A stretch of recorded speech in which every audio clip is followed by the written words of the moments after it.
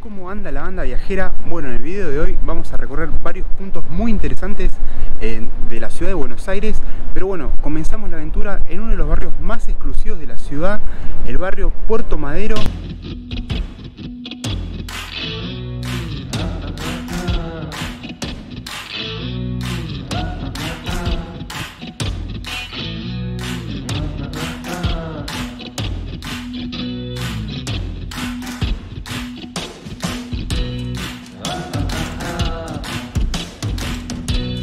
Originalmente en realidad no era destinado a ser un barrio residencial, sino a ser un puerto. Exactamente, tuvo sus inicios durante la segunda mitad del siglo XIX.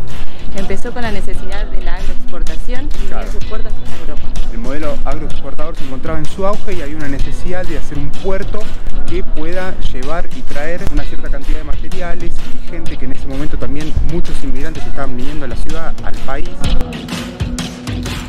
Entonces surgen dos proyectos, uno de Luis Huergo y otro de Eduardo Madero, quien era sobrino del vicepresidente de turno, así que imagínense quién ganó. Exactamente, sí. Presentó tres proyectos, en el tercero se lo aprobaron y bueno, ya a principios del siglo XIX comenzó a construirse lo que es hoy Puerto Madero. Consistía en cuatro dársenas, dos diques y bueno, y un par de puentes que conectaban esto, pero el proyecto terminó fracasando porque la magnitud de la cantidad de material, de, de La- inmigrantes, De la mercadería que entraba. Además los buques se fueron agrandando, los buques se hicieron más grandes, entonces esto terminó fracasando, transformándose en un lugar turístico y Sí. residencial. Exactamente, así que pasó de ser puerto a ser considerado después un barrio. Y la paradoja de la vida es que después se terminó implementando el, el proyecto que había hecho Luis Huergo, el ingeniero Luis Huergo, que hoy tiene una avenida por acá. Así que bueno, vamos a ir a dar una vuelta a la zona y a ver los puntos de interés que se pueden encontrar en este barrio.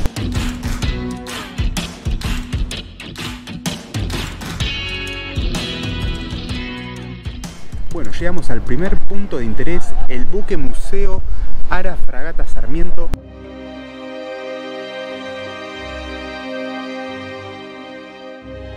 Recibe el nombre por el creador, el fundador de la Escuela Naval Nacional, que es nada más ni nada menos que Domingo Faustino Sarmiento.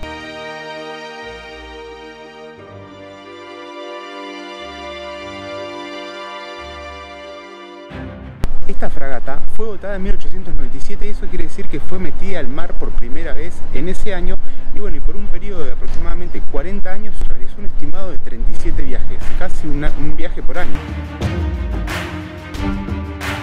Después hasta 1960 se convirtió en un buque de prácticas en aguas nacionales. Un par de años después se convierte en museo y es nombrado Monumento Histórico Nacional. Esta fragata participó en varios eventos, como por ejemplo la apertura del, ca- del canal de Panamá. Para venir hay que reservar la entrada, nosotros le dejamos por acá. Es totalmente gratuita la entrada, pero bueno, hay que hacer la reserva previamente. Así que bueno, ya estamos en horario, vamos a darle una vueltita.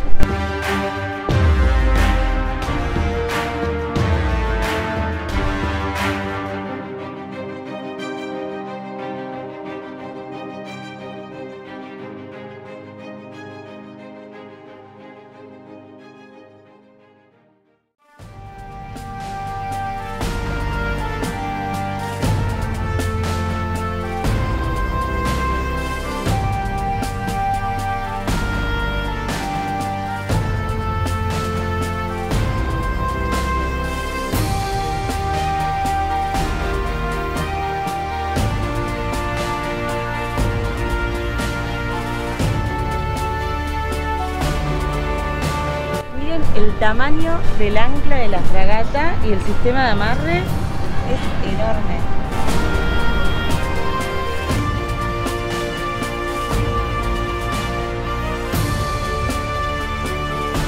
Por un tema protocolar no se puede bajar a las cubiertas bajas, pero esta cubierta de arriba la verdad que está increíble, hay unos cañones tremendos, bastante lujosos se los ve.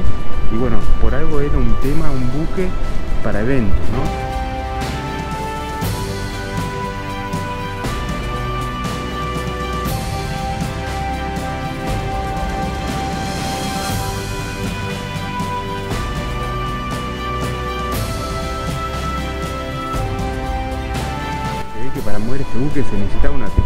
Bastante grande. Así es, y en algunas se muestra cómo para armar y desarmar las velas se, necesitaban por lo menos 8 personas, impresionante.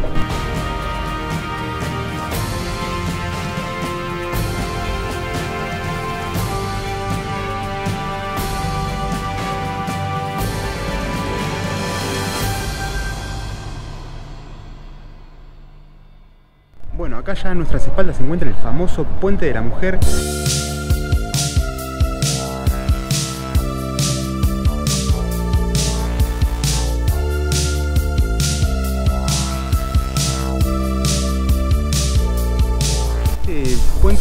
Construido por Santiago Calatrava, el español Santiago Calatrava, que fue su primer obra en Latinoamérica. El mismo que hizo la Ciudad de las Artes y las Ciencias en Valencia. Así es, es un puente peatonal que a la vez es giratorio para el pasaje de los buques. Y Sí, allá tiene un, como un hangar, un ganchito de encastra al, al abrirse. Ahí gira sobre el eje donde se encuentra Sí. la parte más nunca alta. lo vimos abierto, pero hay fotos. Exactamente, tal cual.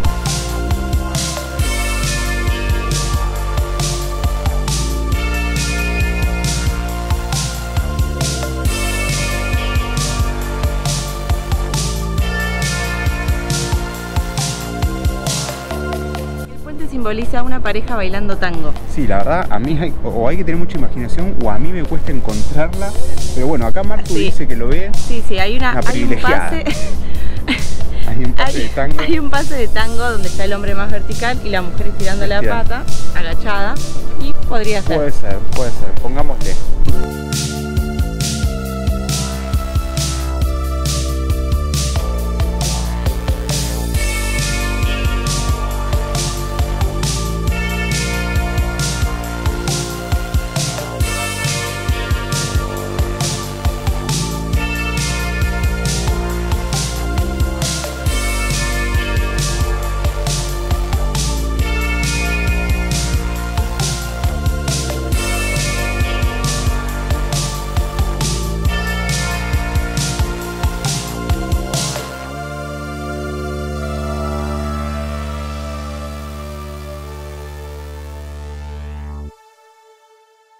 Podrán ver, la arquitectura de esta zona es muy parecida a la de Inglaterra, nos transporta hacia Reino Unido, porque bueno, el arquitecto con el que trabajó Eduardo Madero era inglés. Así es. Y todas las calles del barrio tienen nombre de mujer en homenaje a todas las mujeres de la historia.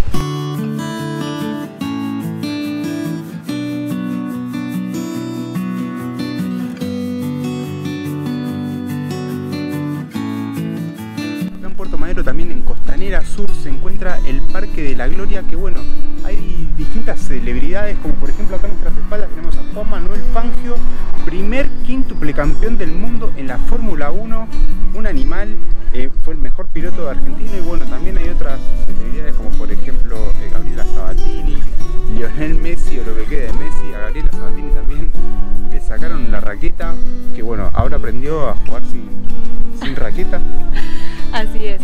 Y acá atrás tenemos el espacio verde más grande de Buenos Aires. Tiene 360 hectáreas y fue declarado en el 86 debido a la importancia de que es un.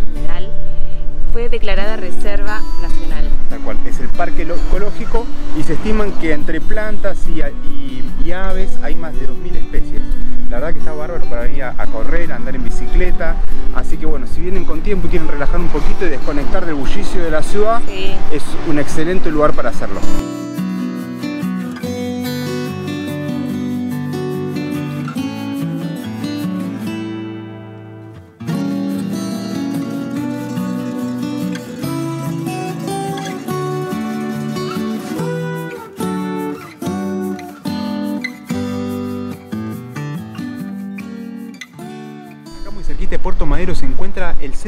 Néstor Kirchner.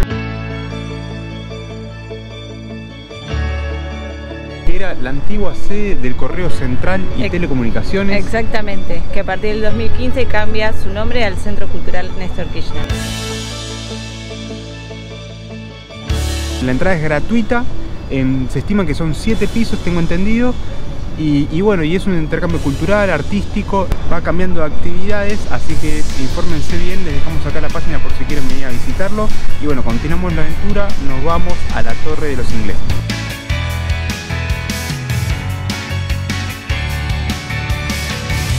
Vinimos desde Puerto Madero y llegamos al barrio de Retiro. Acá atrás nuestro tenemos la terminal de trenes del barrio de Retiro, la estación Retiro, hermosa. Acá llegan todos los trenes, no solamente de la ciudad, sino también de provincia. Un montón de gente baja, es un punto de bajada y de salida, tanto para entrar como para salir a la ciudad a trabajar. Sí, conecta todo. Y acá atrás tenemos la Torre Monumental, también llamada la Torre de los Ingleses. Exactamente, sí. Esta torre fue donada por la comunidad inglesa para el centenario de la Revolución de Mayo. Fue construida en 1916 pero se le cambió el nombre a Torre Monumental en 1982 por la Guerra de las Malvinas, justamente con Inglaterra fue la disputa bélica y justamente acá enfrente se encuentra una tumba del soldado desconocido de los héroes de Malvinas, así que bueno, esta torre se volvió a abrir en el último tiempo para poder subir y tener unas buenas panorámicas de la ciudad, así que bueno, vamos a aprovechar que se abrió hace poquito y vamos a ver unas buenas vistas de la ciudad de Buenos Aires desde las alturas. la entrada está 100 pesos por persona, hay unas lindas vistas, tampoco descomunales, pero bueno, teatro panorama, se puede ver el autobús acá, la estación de retiro, acá la plaza San Martín también muy bonita desde arriba, y bueno, el último horario. Es a las, las 6 y media, hasta las 7 en realidad, pero 6 y media es el último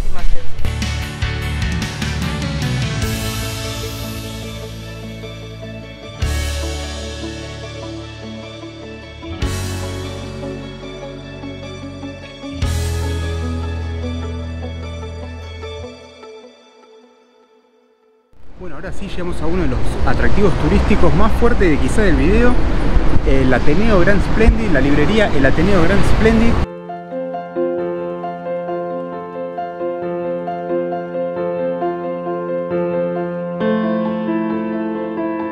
Y esta librería fue construida entre 1917 y 1919 sobre el antiguo Teatro Nacional Norte años más tarde, en el primer piso, abriría Radio Splendid, radio donde debutó Carlos Gardel. Así es. Y en el 2000, un grupo de inversores compra el edificio, lo remodela y es lo que es hoy en día el Ateneo, la librería Ateneo de la marca Jenny.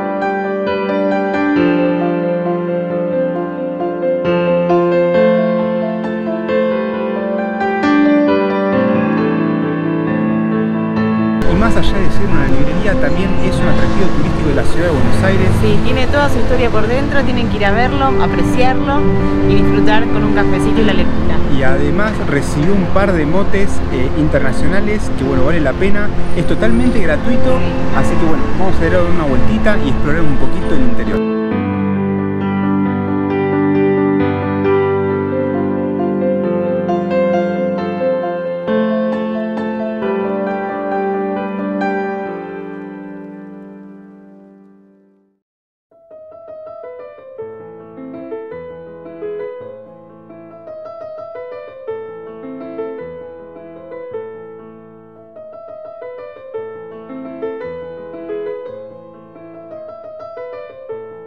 El teatro tiene una capacidad para 500 personas y en el 2008 la revista inglesa The Guardian lo nombra como la segunda librería más hermosa del mundo. Y en el 2019 National Geographic la cataloga como la librería más bella del mundo.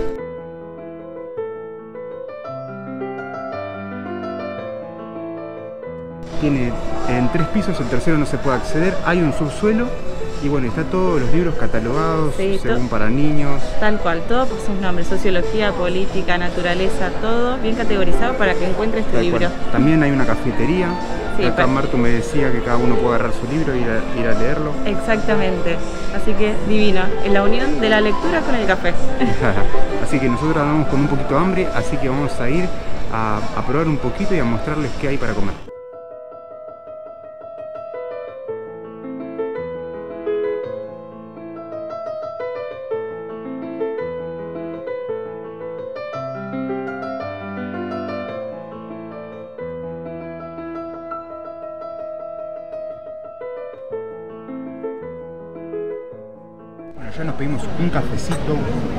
Tostado con pan árabe y Marto un clásico sacramento, sacramento.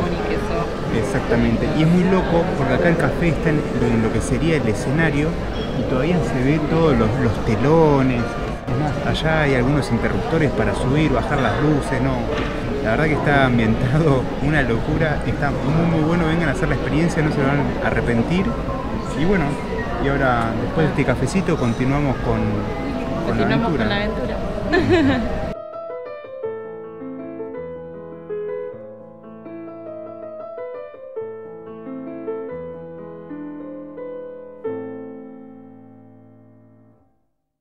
Bueno, ahora sí tenemos este tremendo palacio en nuestras espaldas. Increíble el tamaño, es imponente. Es el Palacio del Congreso de la Nación.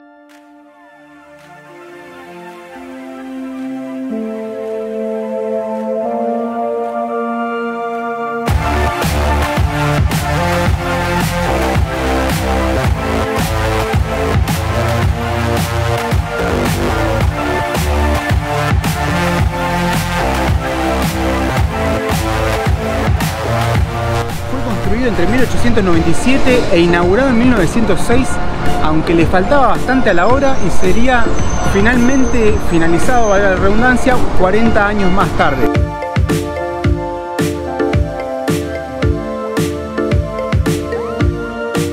los periodistas lo llamaban en su momento el Palacio de Oro, por lo que tardó y costó, y costó construirlo. construirlo exactamente, siendo uno de los congresos más grandes del mundo.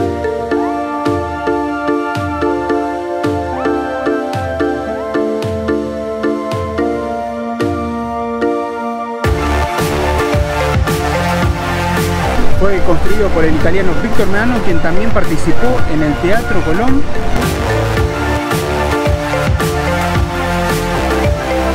Tiene un estilo eclesiástico y greco-romano con unas columnas corintias y la cúpula tiene una altura de 80 metros nada más y nada menos.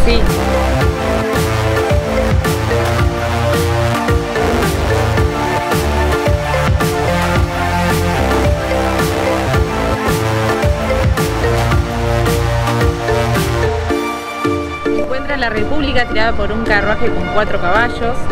Es bellísimo. Además de todo, fue declarado Monumento Histórico Nacional.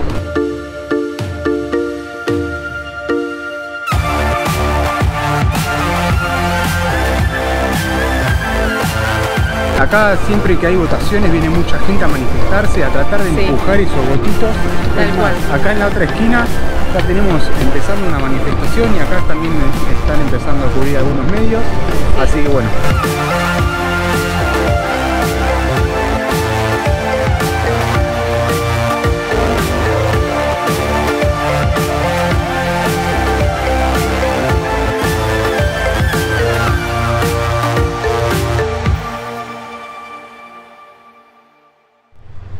Bueno, ahora sí llegamos a la última atracción turística. Por fin, por Ah, fin. La frutilla largo. del postre, sí. Sí, pero bueno, merece mucho la pena. Es el Palacio Barolo.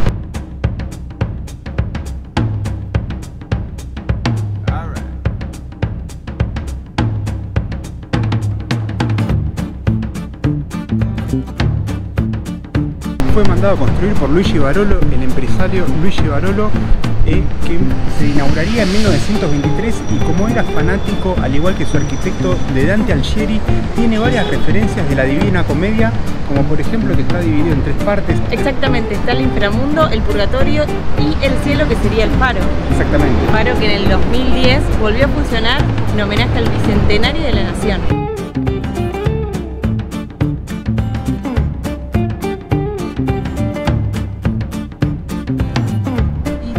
Posee un salón, Salón 1923, por el año de la inauguración, en el cual se puede venir a cenar y tener una vista desde las alturas, dando la Plaza Congreso. Exacto, divino. Cenar en el Palacio Barolo con tremendas vistas y hay de todo. Hay menú para vegetarianos, celíacos. Es una experiencia imperdible.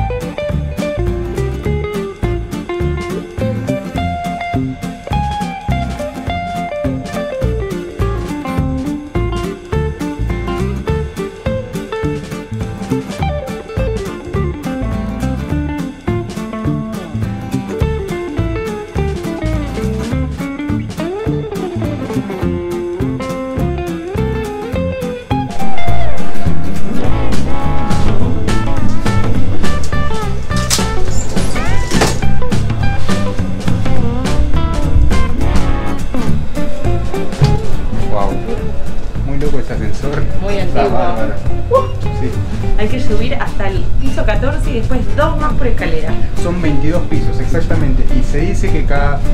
Se trataba de dividir en eso que hablábamos del infierno, el purgatorio y el cielo, cada 7 pisos. O sea, dos pisos por pecado capital.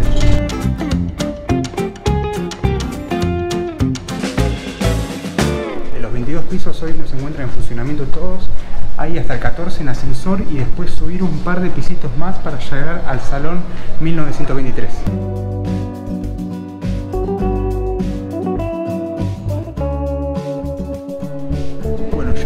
Piso 15, un pisito más y es donde tenemos la cena Ay, sí, se viene una comilona. tremenda. Sí, hay que reservar con anticipación. Hay dos terrazas, una que tiene vistas al obelisco, otra que apunta hacia lo que es el Congreso de la Nación.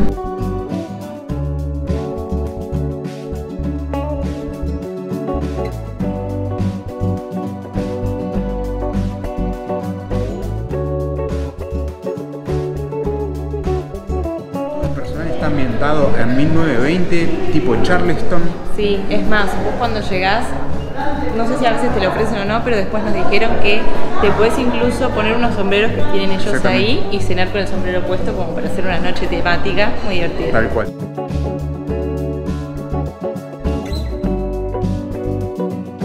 Y bueno, y hay distintos menús para Así pedir. es. La forma de reservar es por la página que les vamos a dejar acá abajo. Sepan que es o cena con reserva o también se puede, digamos, venir a tomar unos tragos, que eso es por orden de llegada. También hay visitas guiadas que bueno, te cuentan un poquito la historia del palacio y te llevan a ver un mirador justo debajo del faro. Está y bueno, bueno. y hay distintos menús, tenés menú para celíacos, para vegetarianos y bueno, otro menú. Y bueno, y este es el video de hoy, esperemos que les haya gustado. Si les gustó el video no se olviden de regalarnos un like Sí, los invitamos a que se suscriban al canal. y bueno, hasta la Hasta la próxima.